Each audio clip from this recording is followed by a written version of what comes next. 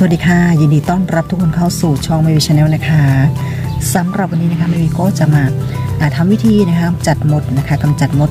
ภายในบ้านของเราเลย ซึ่งมดนะคะก็จะเป็นสิ่งที่รบกวนนะคะทำให้เกิดความรำคาญนะคะ ก็จะเป็นมดนะคะ รังมดที่อยู่บริเวณบ้านนะคะนะคะก็มาทำรังนะคะ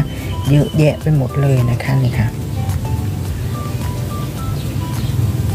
จะเป็นมดคันไฟนะคะ ตัวจะสีแดงๆนะคะ จะชอบ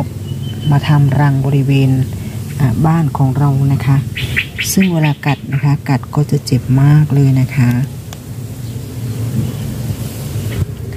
และสำหรับวันนี้นะคะแม่วีก็จะมาแนะนำสูตรนี้นะคะ ก็เป็นสูตรง่ายๆนะคะ ที่เราจะกำจัดมดในบ้านของเราให้สิ้นซากไปเลยนะคะ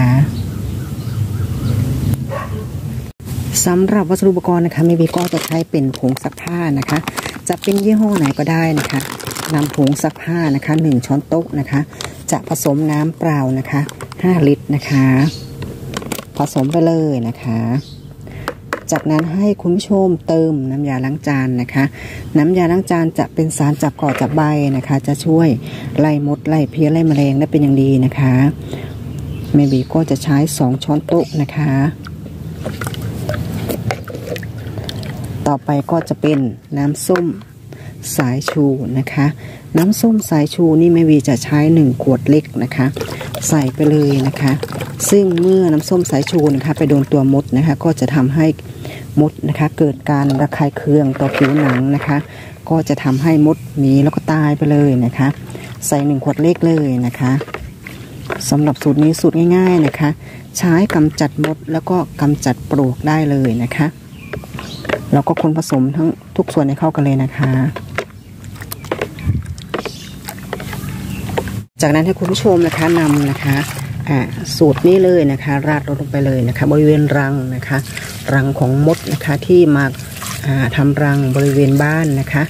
ซึ่งจะมารบกวนนะคะทำให้เกิดความน่ารำคาญสำหรับมนุษย์เรานะคะ ก็ราดลงไปเลยนะคะ บริเวณรังมดนะคะ สำหรับปลวกนะคะ เราใช้สูตรนี้ได้เลยนะคะกำจัดมดกำจัดปลวกนะคะ ก็เมื่อใช้สูตรนี้แล้วนะคะ มดก็จะย้ายรังหนีแล้วก็ตายได้ในที่สุดเลยนะคะค่ะและสำหรับสูตรกำจัดมดกำจัดปลวกสูตรนี้นะคะผู้ชมก็นะคะ ถ้าบ้านคุณผู้ชมมีมดนะคะ มีปลวกนะคะ ก็ ลองนำนะคะ สูตรนี้นะคะ ไปกำจัดมดได้เลยนะคะ มดปลวกบ้านเราก็จะ